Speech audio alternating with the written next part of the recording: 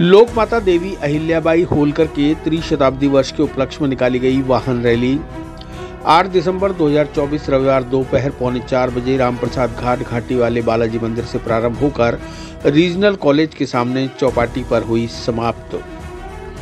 लोक माता देवी अहिल्याबाई होलकर की त्रिशताब्दी वर्ष के उपलक्ष्य में 8 दिसंबर 2024 रविवार को एक वाहन रैली का आयोजन किया गया। रैली दोपहर पौने चार बजे रामप्रसाद घाट घाटी वाले बालाजी मंदिर से प्रारंभ होकर शहर के विभिन्न मार्गों से गुजरती हुई रीजनल कॉलेज के सामने चौपाटी पर पहुंचकर संपन्न हुई।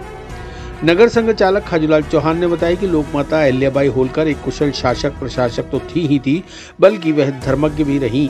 आज उनके 300वें शताब्दी वर्ष पर उन्हें याद करते हुए अजयमेरू महानगर में विशाल वाहन रैली निकाली गई है। जिसमें बड़ी संख्या में महिला, पुरुष, युवा बच्चे, केसरिया रंग की पगड़ी और वस्त्र पहने हुए वाहनों पर सवार होकर इस रैली में शामिल हुए हैं।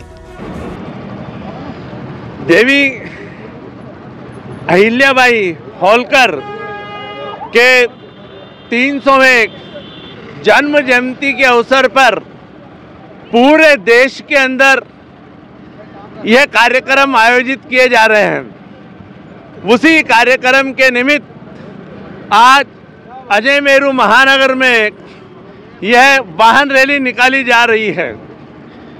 ये वाहन रैली घाटी वाले बालाजी से प्रारंभ होकर के अजय मेरू महानगर के विभिन्न मार्गों से होते हुए रीजनल कॉलेज चौपाटी पर समाप्त होगी।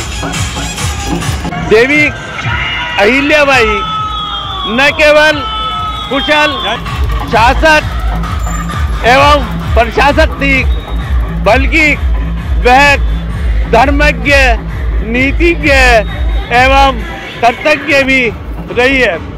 आज संपूर्ण राष्ट्र उनके प्रति कर्तज्ञता ज्ञापित करता है।